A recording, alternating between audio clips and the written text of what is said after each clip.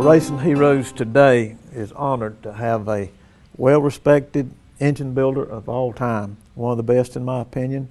And Waddell Wilson, it's a pleasure to have you come over and talk to us, give us a little information about your history, how you got into racing.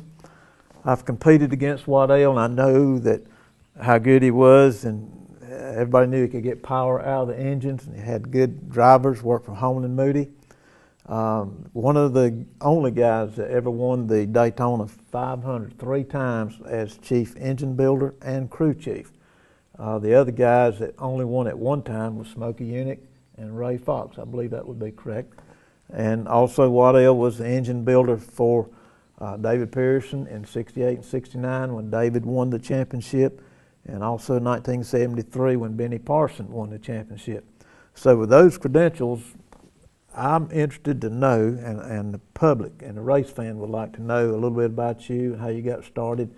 Uh, I think I recall you being in Miami, had a race car that you built, and uh, later on moved back to North Carolina. Can you tell us a little bit about where your interest was at? Did you ever think was going to be building engines, or just how did it all evolve? Well, it's amazing how it, how it escalated along. You know, whenever I graduated from Nashville Auto D College, Diesel College, I ended up in Miami, and uh, ended up getting an old race car, and uh, running a few times, won a race or two, and then erected and took all my money, so ended up back home, and was at the Ford dealership, and lost my job, and uh, so I went come to Charlotte to uh, see if I couldn't get work. Because when I was in Miami, I was working at a at Cummins Diesel as a diesel mechanic. In Charlotte, I was looking for the same work for a couple of days. Couldn't find anything. A friend of mine asked me, said, why don't you go over to Holman Moody and see if they got anything going on? I said, okay, that's to myself. I said, that's a joke, but I'll go. So I go in and run into the foreman and uh, the general manager. He said, we're not looking for anyone. So I started back out the door, run into John Holman. He said, Can I help you? I said, Well, I'm looking for employment. He said, Well, step in my office. I was telling him what I've been doing and been racing. And, and when I told him I graduated from Nashville Auto and College, he said, Where's your toolbox? I said, Well, I can be here in the morning first time. What time? He told me 8 o'clock. That's, that's all I knew. I had a job, be there at 8 o'clock, nothing else. Never met him before in your life? Never met him, knew of him as it. Yeah. So the next morning I went in and the general manager was waiting on me, put me in the engine room. And I could tell the look on his face is, I'll put you in here and you won't last long. so anyway, I went in there to building engines. There was only six of us. And uh, I didn't know it at that time, but they were going, when I'd go to break or go to lunch, they were going over everything I was doing, checking every, you know, out you know, trying to get rid of him because I wasn't in that clique at, at that time. And this is 1963. That was first of 63. Yeah. Anyway, finally, Lee Terry, he was over the engine room, one, one fine person. And he told these guys, he said, he said, let me tell you something. We got somebody special here. I think we need to lay off of him. So anyway, time went on, and I, the second week I was there, though, they put me on Fireball's pit crew. So I worked with him and then uh, I remember in '63 being in Daytona with Fireball, and back then, you know, he drove that race car, penny loafers, dungarees, and a T-shirt, no gloves, sunglasses, three-quarter helmet, and uh, I remember during the race he he'd come up to me and tell me now on pit road. He said, "Now I don't remember now where you go with that pit sign, because I had the pit sign." He said, "Now I'm gonna follow you." Well, it was one of them pit stops. He come down pit road. He and Junior Johnson had actually lapped the field. And uh, back then didn't have no pit road speed. Had them old drum brakes. And he come to me, he was about two car lengths away from me, and I knew good and well he wasn't going to be able to stop that thing. And I remember I didn't move the board because I knew he was going to chase me. so as soon as he got next to me, I jumped straight up landed back on the windshield, rolled off the windshield, and done the work. And nobody ever said a word. He ended up winning the race that day. So anyway, we ended the season well, and and in the end of the season, Ralph Moody and Fred Lorenzen come and said, "We want you to be on our race car, and we want you to be the jack man." So they moved me over on Lorenzen's car, which uh, that's the car I really liked anyway. So anyway, worked with Lorenzen. When we go to Daytona in uh, '64, and that's when Richard showed up with that Petty blue Plymouth with that Hemi in it. And uh, Lorenzen said, that, that looks like a box, it won't run. Richard didn't even unload it the first day. The second day, he got it. He run about three or four miles hour faster than we did, and Lorenzen went to motel. We'd done it for a month. So he come back, and I said, well, let's work on the car. But, you know, me, I'd like to try some things on the engine. Said, okay. So anyway, Herb Nab was a crew chief on the car, and, and Wayne Mills was his assistant.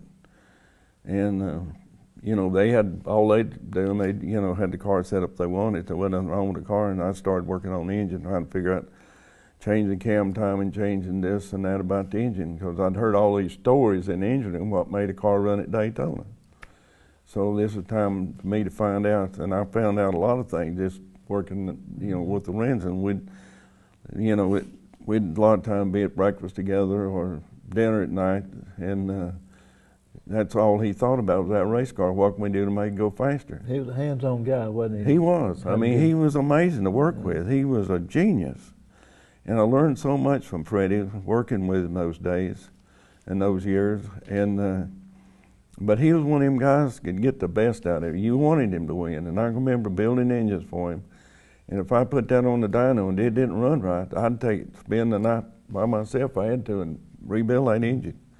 You know, I just couldn't let it go out because you know I wanted to win too because we got a little percentage out of the car whenever it won the race. So anyway, we learned so much down there. But then Richard ended up winning the race. We put camshafts in in uh, fireballs and lenses, and you knew they wasn't going to last. They blew it up about halfway through the race.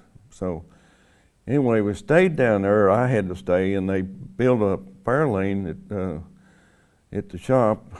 Uh, we was running big Galaxies at that time, and sent it down from Holman and Moody, and Fireballs was lived there, so he stayed there at the and we run the Fairlane that time down there. That's the first time we run a Fairlane, and NASCAR was our board was hoping to get that approved because I mean at that time you know Chrysler had us beat with them Hemis. But anyway, the next race was Atlanta, and we go to Atlanta. When we go to Atlanta and test, we go to Bristol and test. I mean, you know, we stayed. You know, you just didn't get no sleep at that time. You know, you're working all the time, going or coming. And uh, so we won Atlanta. We won Bristol. We won the next seven races. One of them was a road course. We won in USAC, up in around in uh, Indiana someplace. Anyway, then we won all the way up to 600, and then that's whenever Fireball got killed, and yeah. we had some bad pit stop. We didn't win the race there, but it was amazing to work with Lorenz. And then at the end of end of seven, uh, the end of '64, you know, uh, things changed around then. There's a different pit crew. You know, uh, Jack Sullivan come in as crew chief. Herb Nab went to Junior Johnson's, but uh, that's when they delegated some of the cars away, like up to juniors and. Well, yeah, Junior had his own deal. Yeah. The Wood brothers had theirs. Banjo had his. Bondy Long at that time had a car. So. But they get, all of them still got the engines from Holman and Oh, yeah, Holman and Moody built the engines. Like I said, there were six of us in We built engines for all the race cars and Wood Brothers too, which had they run Mercury. And uh, then in uh, in 74, I mean, uh, and Lorenzen wins the Daytona 500 in, uh, in uh, 65. That was, uh, I remember a rain shortened race, uh, and lucky to win it, beat Marvin Panch. He was driving for the Wood Brothers. Uh, when I went to work for Holman Moody, I forgot to bring this up, it was in first of 63, there was only 39 people on the payroll, including the secretaries. So it wasn't a big group of people. and and building race cars and building engines. Built all of the tires. Had uh, the parts department also. So it was quite an operation for a very few people. I believe, you correct me if I'm wrong, Peter DePaolo. Pete. Had it, and uh, Buddy Shuman worked for him in Ford, and he died over in Hickory at a motel. Uh, mattress caught on fire, and then um, I believe that's when Holman and Moody was formed right after that, wasn't it? Mm-hmm. And then you come aboard with them, and they had what thirty? You said 39 people. 39 so when. I come to work for them, and that was the first of 63. But I never figured this. Maybe you can tell me. What did John Holman contribute, and what did Ralph Moody contribute to the organization? Well, Moody, Moody was a race car driver, come from New England. He had been driving cars in New England for several years, and he'd been very successful at it. And then Holman, he was more of a manager. You know, he didn't uh, drive or any of that, but he knew, and I never remember him working on a race car. But he was able to, he's able, he was brains enough to put get behind it and put it together. He was the mouthpiece for and Yep, Moody. Yep, he And, was. Uh, I guess that Moody was behind the scenes deal, and they put all these guys together, including yourself, and it developed and kept developing. And um, you was telling us about you started with Fireball, and then the death over there of at Charlotte Motor Speedway of the great Fireball Roberts, and what kind of impact did that make on the team and you? Well, you know, it was hard to believe. I remember the day it happened, and it was on the back stretch, and I've never, to this day, seen a black smoke come up from anything that bad. You knew it was horrible, had to be horrible. And, you know, of course, it didn't, he didn't die at that moment, but it was a couple, two or three weeks later when he passed away in the hospital. But when they brought the car into the back shop there at Holman and Moody and put a cover over it, and I remember they, uh, the custodian brought always uh, cards, you know, had cases of them and put them in the trash can. I remember that, and I thought, what a sad thing. Yeah. You know, I don't, a lot of people probably don't know this, but in that period of time in stock car racing, they had a 55 gallon drum with fire retardant in it. And you put your uniform, which whatever your uniform was back then, could be a t shirt, pair of pants, Right. or it could be a jumpsuit or whatever. And you dip it down in it and hang it on the fence, and let it dry. That's how they did it. But Fireball was allergic to it. And that's why he did not have any fire retardant uniform or clothing on. And of course, that fire, I think his car's upside down and the fuel run down in the top of it and it ignited. And it was a sad day for stock car racing. But after Fireball's death, I, as you were saying, I guess it did make a big impact on y'all and you moved on to uh, focus on Fred Lorenzen's car. Well, I was already on Freddie's car at that time. I'd moved from the end of '63. Uh, that's when Lorenz and, and uh, Moody come and wanted me to be on Freddie's car and be the jack man. I didn't know it was going to lead up, you know, to building the engines. Also, I, they didn't mention that at that time. But uh, you know, it was a horrible thing when Fireball, because he was what kind of like uh, some of the people we have today. He was a spokesman for NASCAR, Good pretty much. yeah. Yeah. Fireball was, and it was hard to lose a man with that stature. I, I agree, and uh, I recognize that, and I guess NASCAR did too, because in 1961 and 2 with Smokey Yunick, they advertised that car a lot, sitting on the poles, leading the races, and then the engine blew a whole lot, or he blew a right front tire and put it in the wall, but the next race he'd be flat footing it again. And they had a nickname for him. Do you remember what it was? Yeah, Fireball. No, balls. Huh? They called him balls. Oh, I didn't know. Yeah. I never heard him called that. Yeah, that's what they called him back in the '60s because they to drive one of those Pontiacs, you knew the right front tire was going to blow with the tires they had back then and the way. His, see, Smokey was not a real good chassis man that period of time. You know, they just they wasn't that far advanced with chassis and what you could do to a car, and um, they relied upon the tires, and a lot of times that never never worked out too good. But with Fred Lorenzen, one of the all-time greats and NASCAR Hall of Famer. Of course, you've worked and built engines for a lot of NASCAR Hall of Famers, but with Freddie, and then a period of time he moved on. I think he retired, and then they brought David Pearson in or Bobby Allison. I don't know which one they brought in first. I believe it was David, wasn't it? It was David. Yeah, and uh, y'all did very well. Well, let's go back to Fireball. You know, that was one thing. It, every time it seemed like a key player gets killed in racing, something good comes out of it, and that's when Firestone got got on the ball and they Right. put come out with a fuel cell.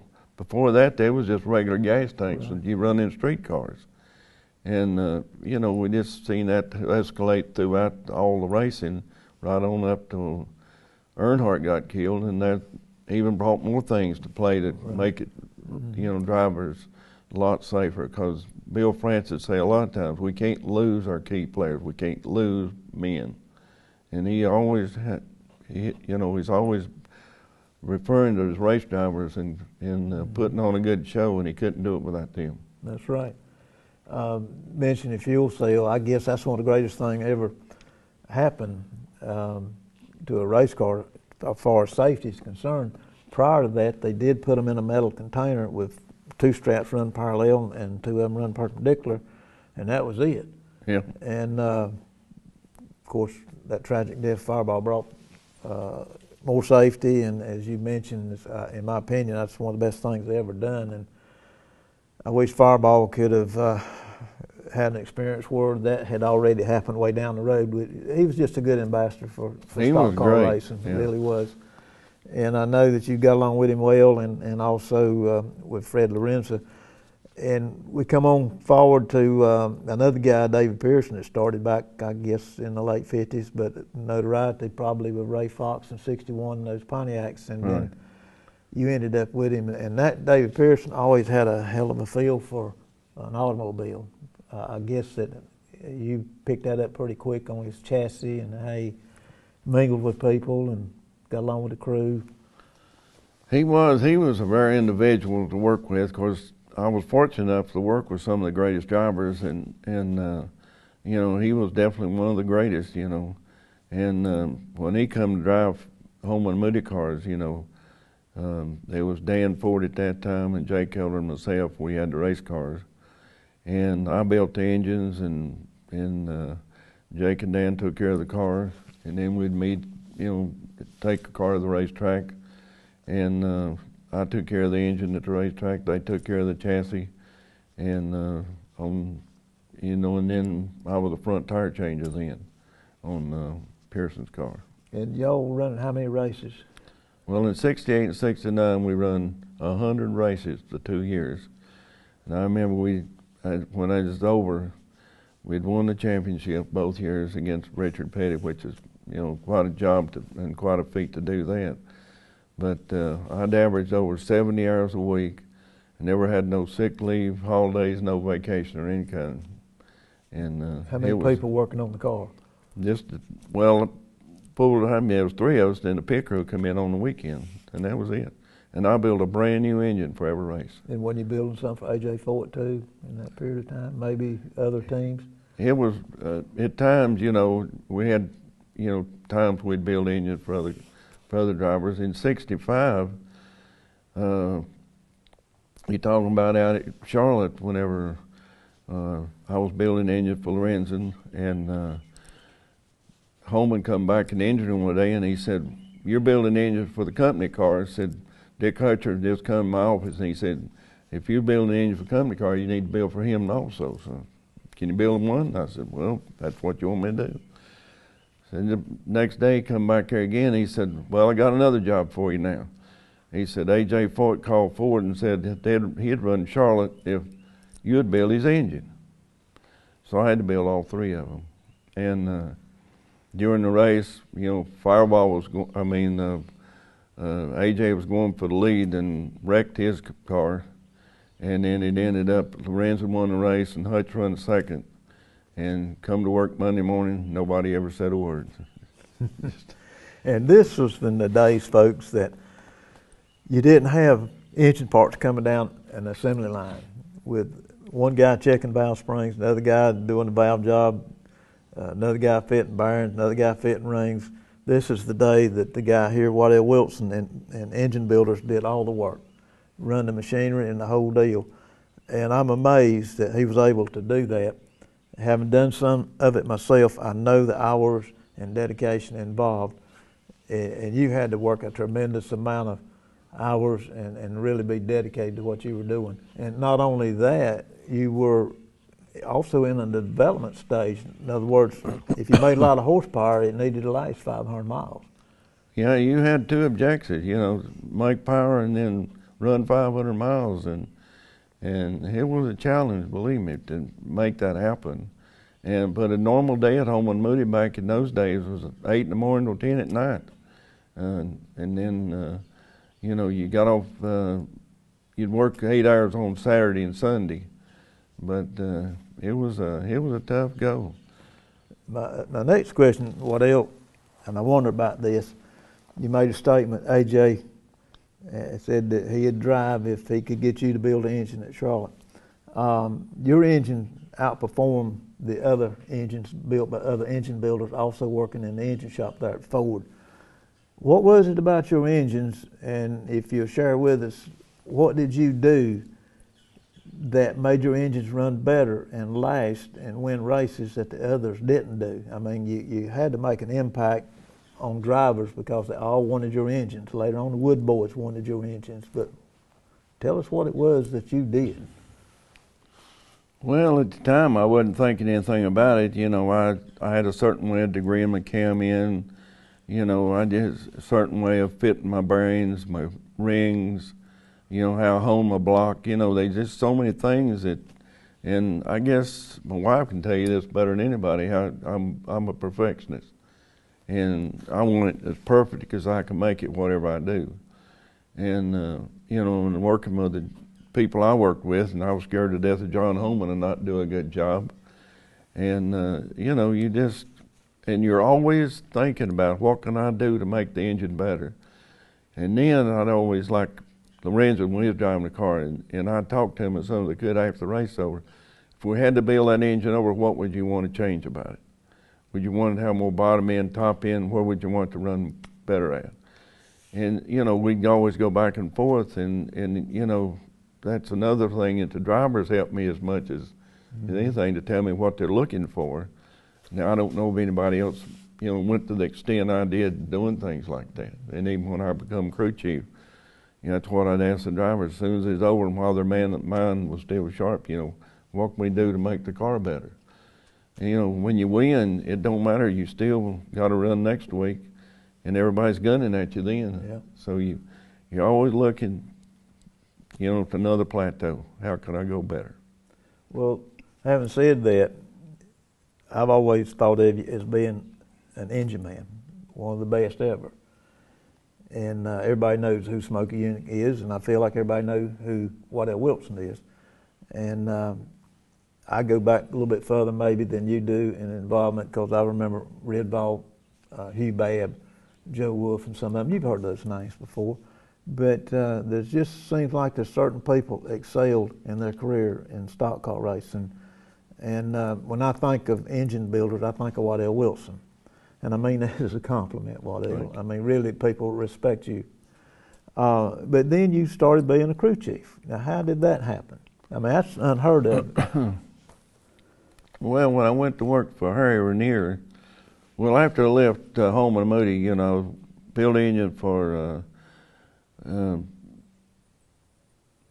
you know, went to LG, built for LG DeWitt, which is Benny Parson and Bobby Allison. Well, did you go, did Moody uh, split with? Uh, yeah, that's whenever, well, Holman, at the end of, well, we had a great year in 71 with Bobby Allison out of Holman and Moody. We won so many races that year, you know, big races, you know, and uh, then in uh, then I went to work in well at the end of '71, and then in '72 the Wood Brothers come on me build their engine. So I built the engine for them in '72 uh, with uh, AJ and Pearson, and then in '73 I I left and went to work with Moody because mm-hmm. he left Holman and Moody, and uh, Bobby left, and uh, so then I built engines for uh, Benny Parsons and uh, Bobby Allison. He won the championship of Benny. Yeah. 73, yeah. And one of the oddest things that ever happened in my career is whenever Benny won the Daytona 500 in 65, I mean in 75.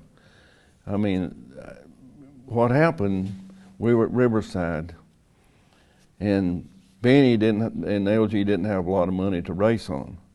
So there was a guy brought a set of pistons. Benny and said, here's your set of small block pistons. And he come over to me, tabled this, and I looked at him and said, Benny, those are drag race pistons. They don't work, I don't think. So anyway, we come back to the shop. They had they went to Daytona, borrowed money from old man France to run some of the season with. They'd get advance money.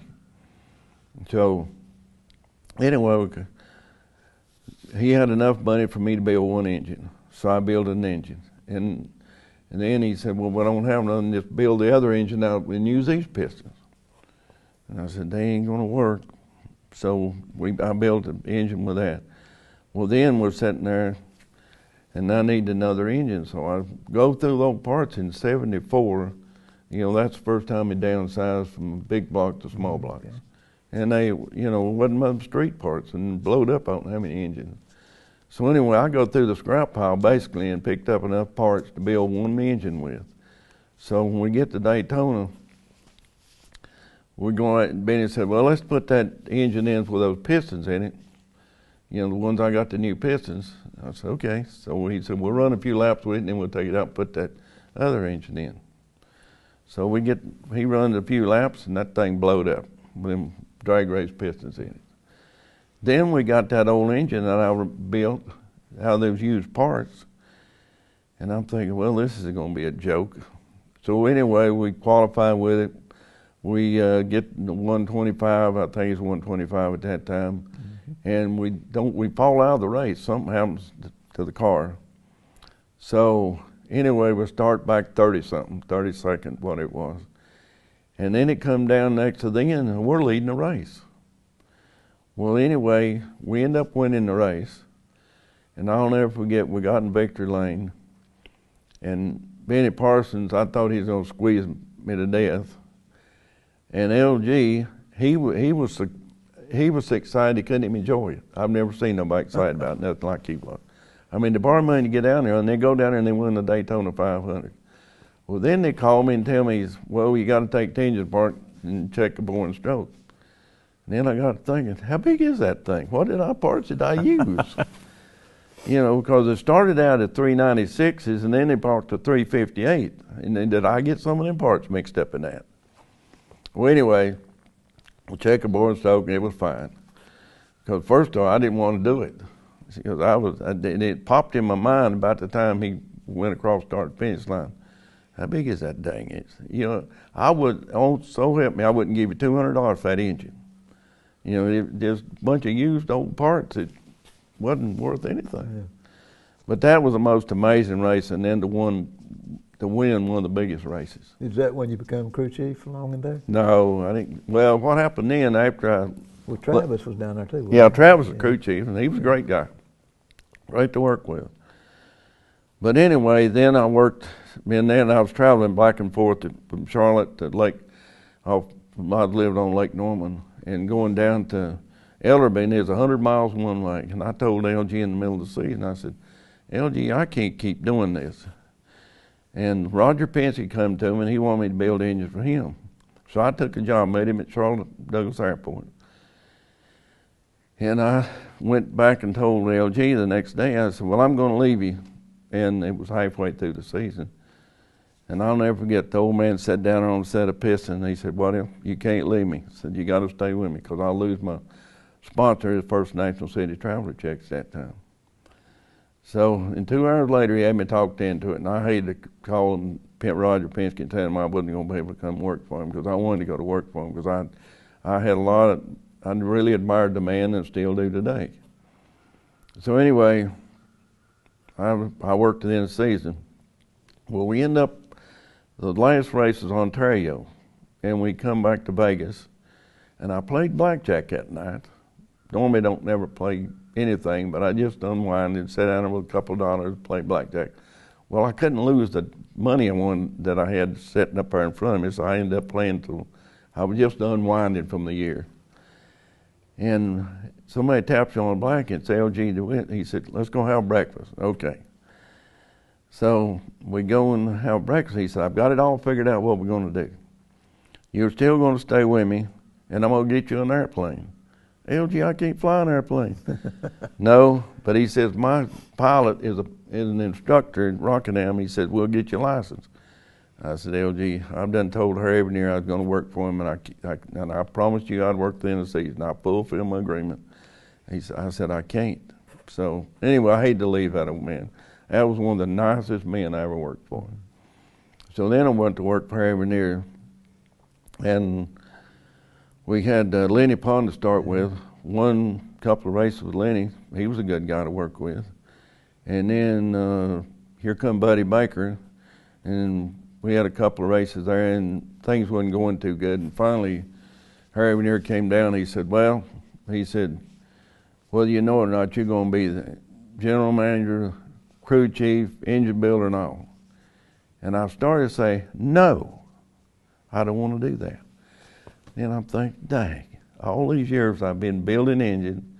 And all I do is argue a lot of time with the crew chief about what gear to put in the car, you know, what I see is happening to the engine, I won't have to argue myself no more. so I said, okay. But the thing about it, people don't realize, back in the Holman Moody days, Ford Motor Company had the finest engineers in the world, and I was able to, on all the tests, work with them. And I learned so much from those guys. It wasn't building engine, it was being working on cars at the racetrack. And it was amazing, you know, the things that I learned from those guys. And then you're always there working on the car just like the other guys working on the chassis and whatever. They wasn't like a, you know, wasn't blinded to any of it, knew everything that was going on. So then to fulfill that, uh, you know, part of it, it wasn't no big deal, you know, to be crew chief. You know, you'd seen it all happen, and, and at times you had to play that because something would happen to one of the guys, a crew member, and you played that part. But uh, anyway, you know, it was. Well, Well- you, you become a crew chief, and um, something that you never experienced, but then you realize it's going to work out. And um, then your next, I, I guess you stayed with Ranier. How long did you stay there? Um, Well, I left uh, in uh, 80, 86. okay, is that then you went to Hendricks, Yeah, I went to Hendricks. and that was with Ricky No, that was with Darrell. Darrell. Yeah. Okay, didn't Ricky drive for you one Yep, time? Ricky Rudd. Yeah. And how did it work out? Was that the dream team when you went? No, that was Darrell. That was, well, you know, that, that was a bad chapter. But uh, Darrell and I, you know, I was loose, used to working with Cale Yarborough. He, he, you know, he was so easy to work with. Now he Cale come to Ranier, didn't he? Yeah. Yeah. Okay. Yeah, seeing it. Let's go back to Ranier's. You know, when I went to work with Harry and then become crazy, and then in, then in, uh, se- in 1980, you know, I had uh, getting ready to go to Daytona. There wasn't but three of us in the shop at that time, and uh, That's the year the car flew. Literally flew, wasn't it? no, you're talking about Cale now. Well, okay. Cale, the car flew when Cale was in. Right. Right. All right, and say we, you go ahead put all this out this bad. You keep going. And you get all right. mixed up with all these dates and everything. And drivers are coming and Part go- Well, I mean, it's so much that you did. It's really hard to keep it in order.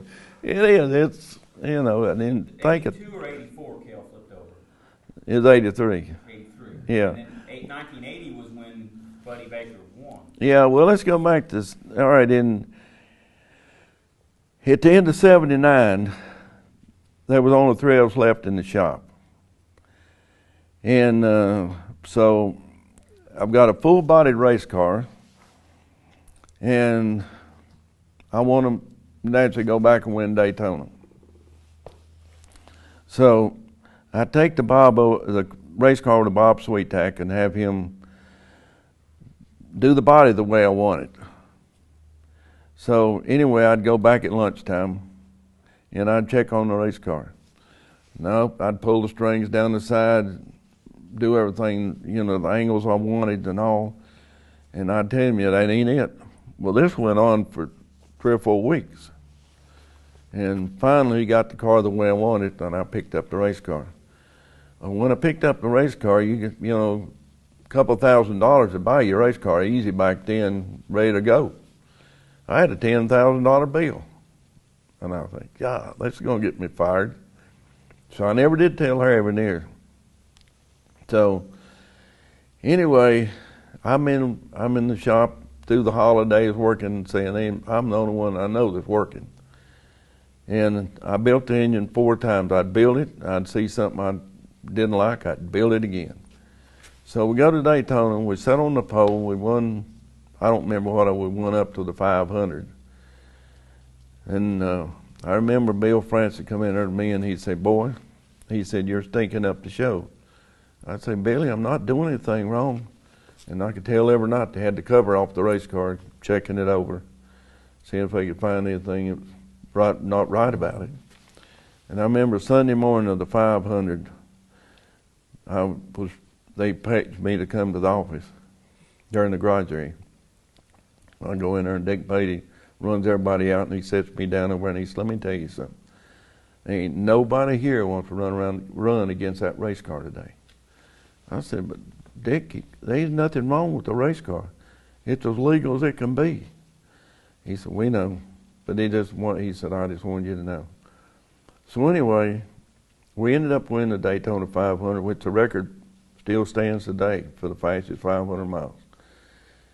And uh, we're in Victory Lane, and somebody told Harry Ranier, said, Harry, you won 103,000. It's a record that you won today, besides the race record. I said, Harry, sorry to tell you, but you won 93,000. He said, Yo, I said, you owe 10,000 for that race car. he said, oh, that's okay. that's the only time it would have been okay. But Harry Ranier was one of the finest men that I was ever around. You know, I just like I said, I'm fortunate enough to be with good owners and good drivers. You know, through through that part of the year, and then here come Cale, and he was I, I knew him at home Holman Moody when he was building engine crates, begging John Holman for riding a race car. He'd build the crates for us to ship engines off with, and that's all he wanted to do was drive a race car. But anyway, I never worked with him really until um, whenever he come to drive in, in '83. Well, we go to Daytona, and uh, Perry wants me to bring both cars down. I have the Pontiac Le Mans and I have the, the Chevrolet. And Chevrolet wanted me to go with them at the end of, of uh, 82 for the 83 season. I told them I would, so they sent me the sheet metal and all to build that car.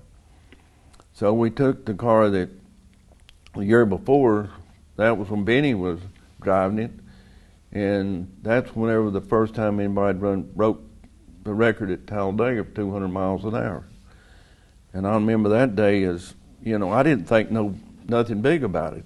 You know we just we're on the pole, Benny's on the pole at 200 plus whatever it was. And I go outside to get some tickets or passes for the boys that's bringing their wives down, get them passes for their wives. And I mean they're going hysterical in outside in the offices and said that man, the phone ain't stopped ringing because that was a magic number, 200 miles an hour, and we can't keep up with all the calls right now that all the tickets we're selling.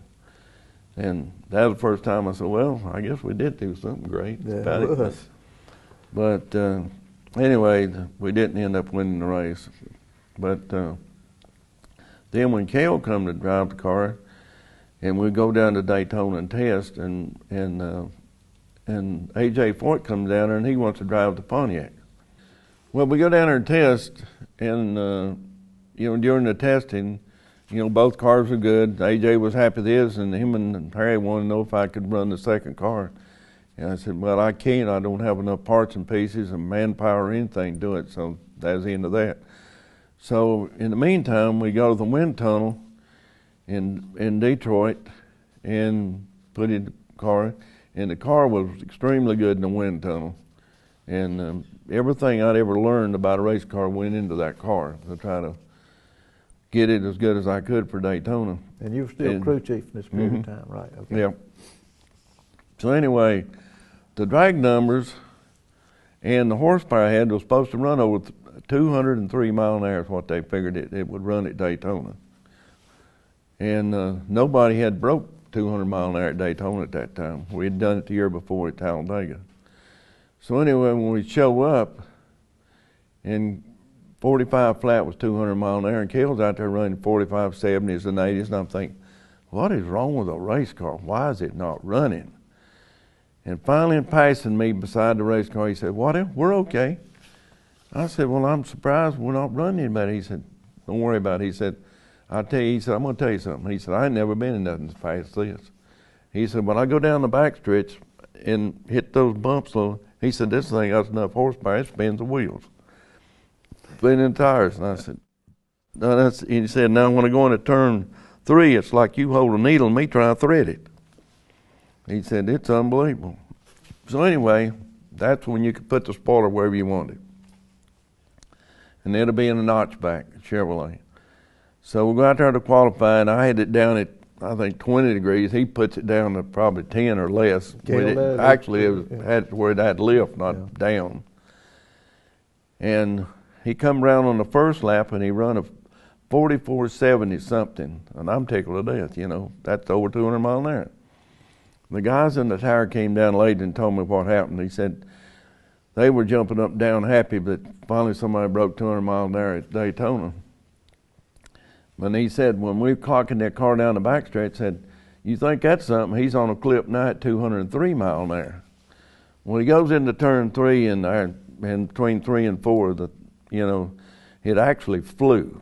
It got upside down, and ended up over in turn four. So we, uh, Dick Beaty come pick me up in the fire truck. We go up to turn four, and there's the car. It's back on its wheels. You can tell it'd been upside down.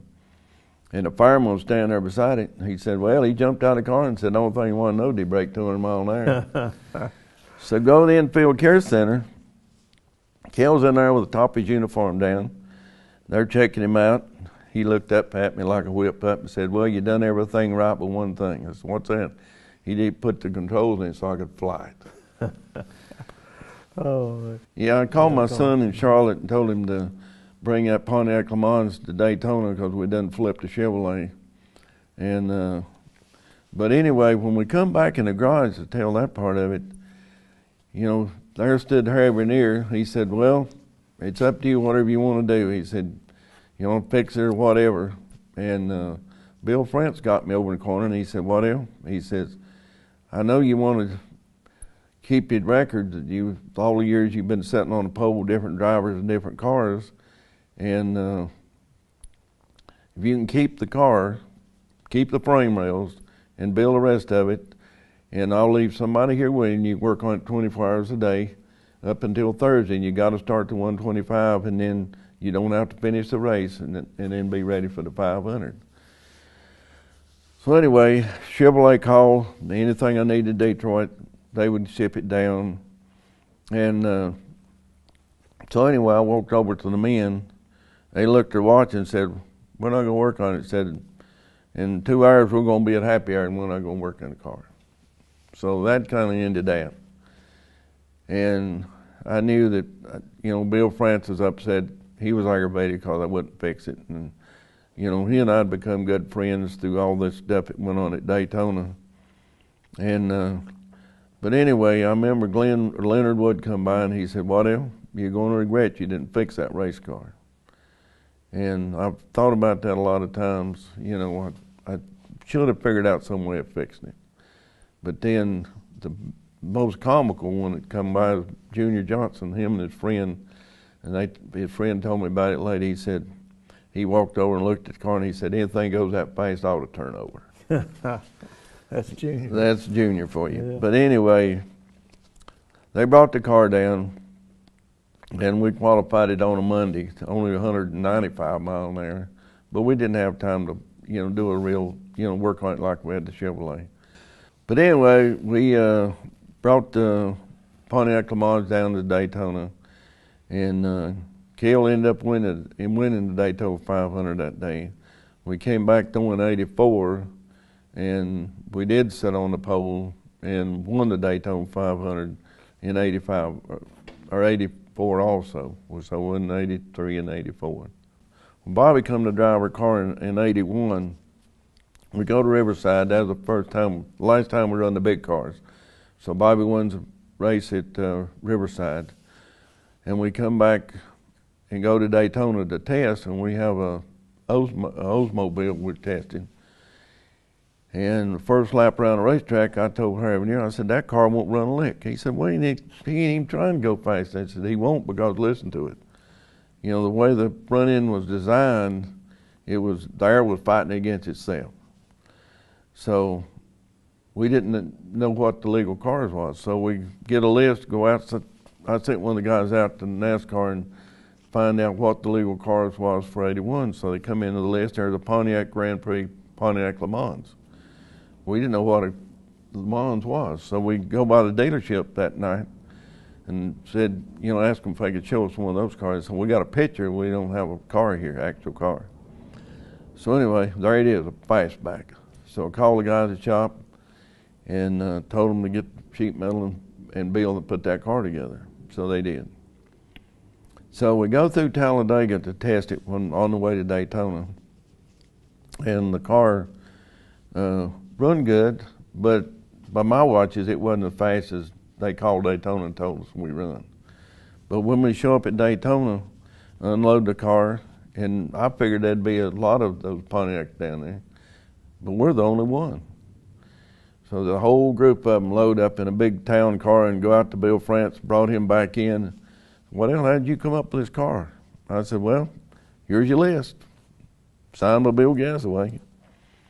He looked at that and he's, he asked Bill Gazaway, he said, did you not check these cars out before you okay them? And he said, turned around to me and he said, what about another car? Don't you have another car that you can bring us to this? That's it, that's all I got. So he said, well, it's a legal car, so they didn't have no templates that fit it. They finally found a car. They didn't find one in Florida. They found it in Georgia. They brought it down there, and they took two days making t- the templates to fit it. And then when they put the templates on it, it naturally wasn't going to be closed. But it was all in our favor. If we could have built it by the template they made, it'd have been a lot quicker race car. So anyway, we had sat there all that time, and we only got an hour. We only got just a few minutes of practice, af- you know, before we garage was shut down for qualifying next day. So Bobby goes out there and runs, come back in. Then the next day qualifying, well, we go out there and sit on the pole, and then that really irritated them. But in the 500, you know, we come down. Bobby led the race most of the day and ended up running out of gas on one of the ga- on one of the stops. I'm still wondering, did we misfigure it? Did we not get it full? You know, how did we mess up? That it still bugs me today that we'd lost that race. That Bobby running so good, but we ended up second to Richard Petty. That was one of the races that really hurt. But uh, we ended up second at points that year. Had a good season with Bobby, and then you know that's when when uh, Cale come to drive the car. And Bobby's a good guy to work with too. Bobby was Bobby was one of the best chassis men. He was good with the car, good with the driving, good to figure out what was a race car. You know, he had all the all of it going on. he? Well, how'd you end up uh, finally over at uh, Hendricks with Ricky Rudd and, and almost won the championship that year?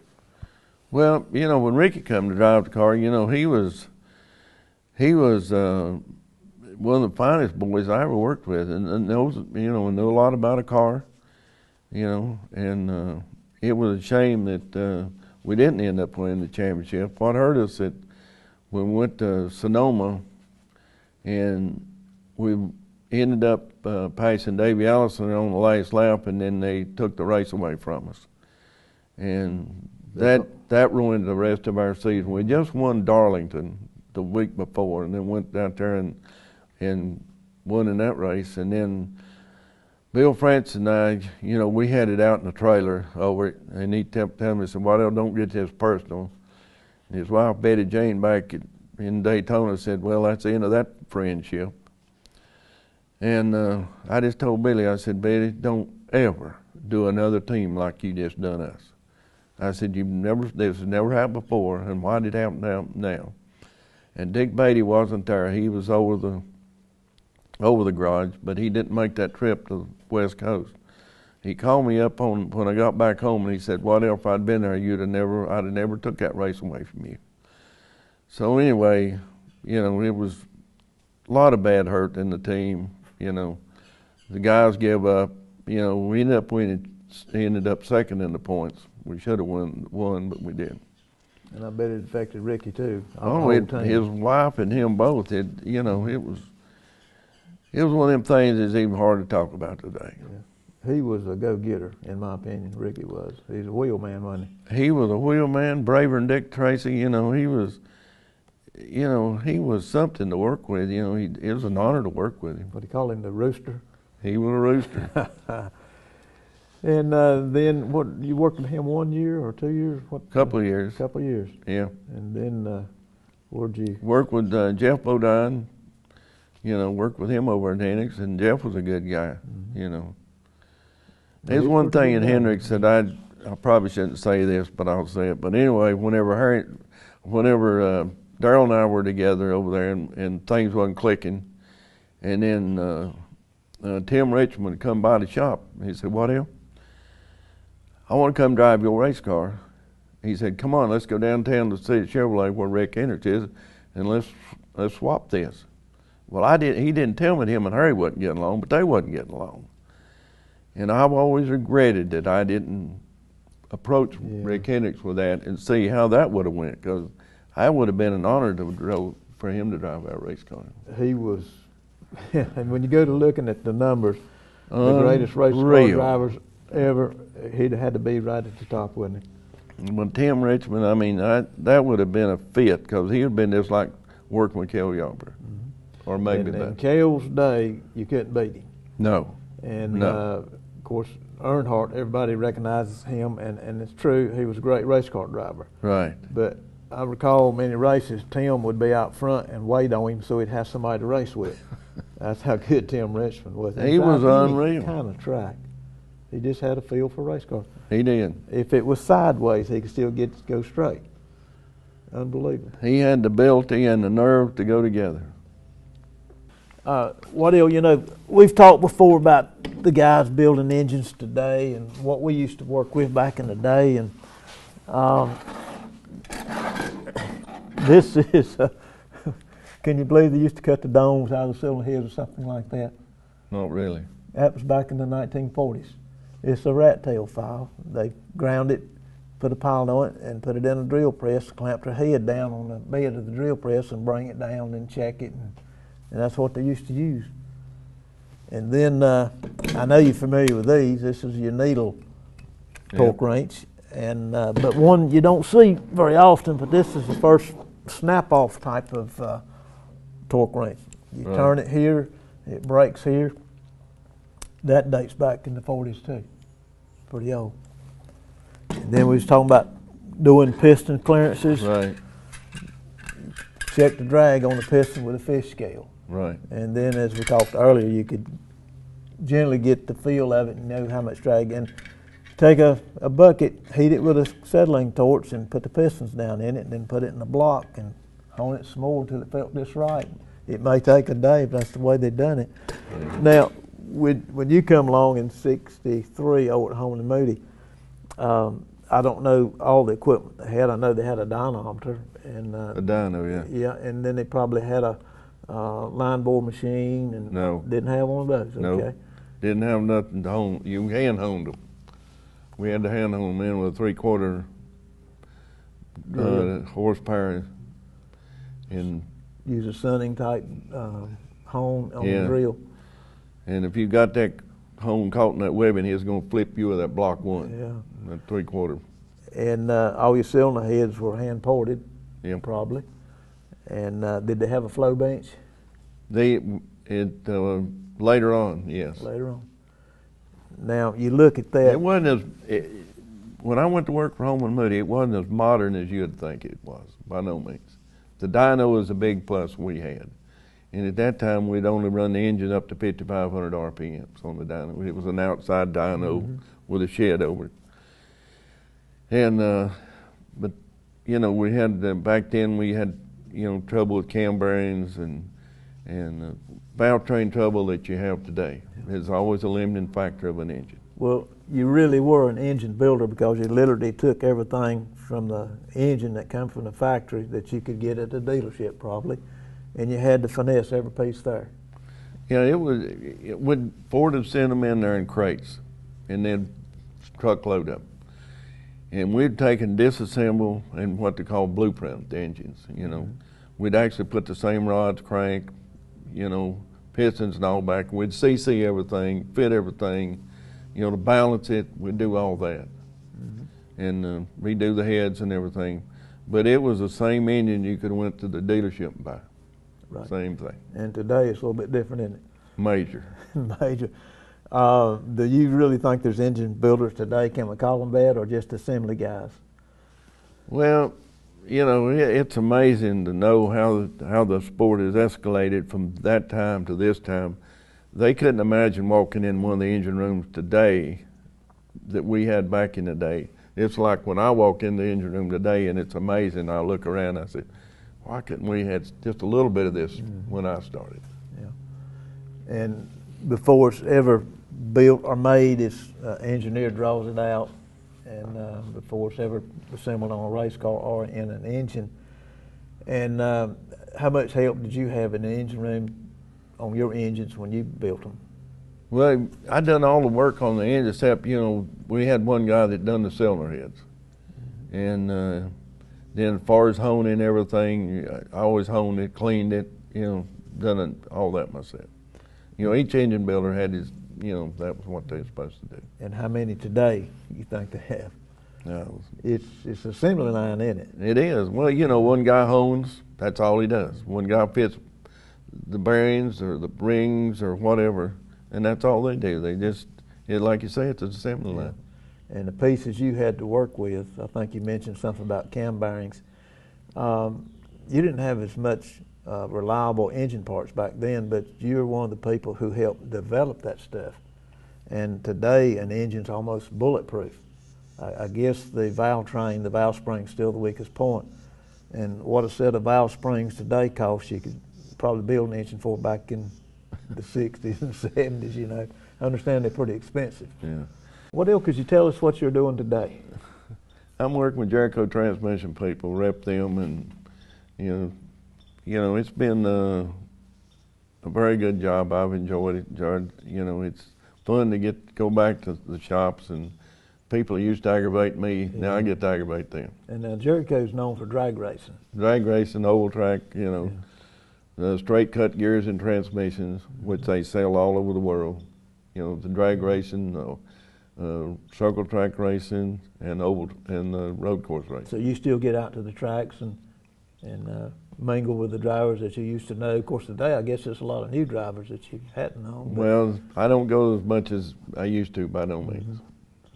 well, I just wondered, and I know the fans, race fans, uh, talk about you still and wonder what you're doing, and and uh, is the wife still doing okay?